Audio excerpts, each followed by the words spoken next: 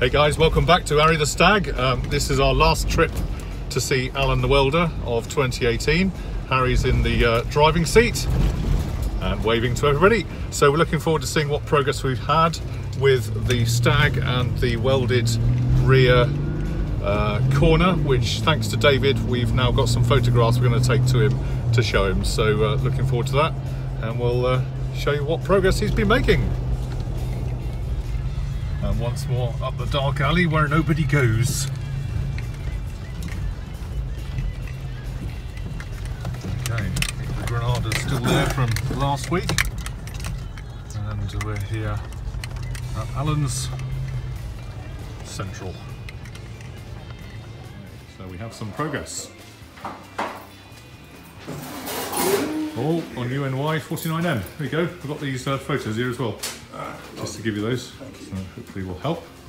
Ah, right, we have a panel on. Marvellous. Looking good. Actually, it looks very good. Doesn't it?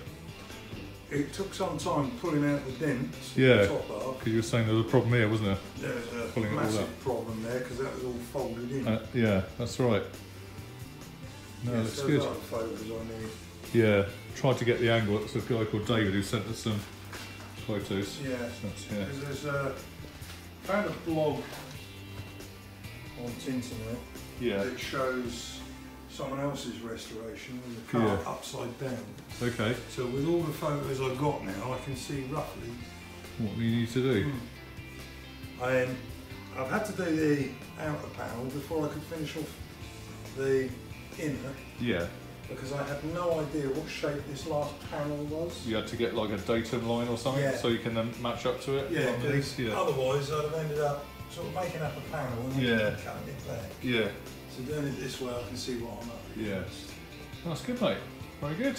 I mean, I'm happy enough with my rear quarter panel that I made, Yeah. so that's all feathered in quite well. Yeah. It's got me some dressing done on that. Yeah. Um, I've managed to get rid of most of the dent by pulling. I mean, you can see it's such a thin layer of filler Yeah. at the moment. Yeah, it's hardly any at all, is it really? Um, it's going to need a bit more just here. 'cause Yeah. Okay. But regardless, I mean, the state of the car. Yeah. No, exactly. First time you've seen it out the right way, isn't it? Yeah. For a little while. a year and a bit. Yeah. It's coming along nice. Yeah, it's good stuff, mate. Yeah, I've left that for you because yeah, I just want you to, see, Right. you to see what state your car was. Got it. Keep your light on. Yeah. Yeah, I just keep forgetting that one hole. And it's an easy one to repair. It's just not getting done. So you've just got to visualise this in Audi VW Brilliant Red and all up together with no holes.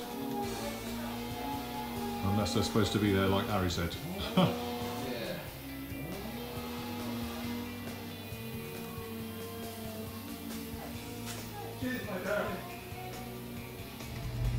Okay guys, so uh, that's about it for this year. 2018's been a good year. Still a long journey in 2019, we know, but uh, all making progress and all going in the right direction.